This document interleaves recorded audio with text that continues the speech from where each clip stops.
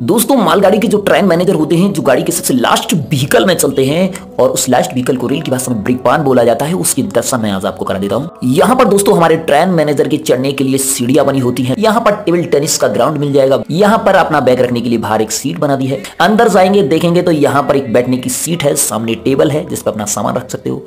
गंदगी इतनी रहती है भाई।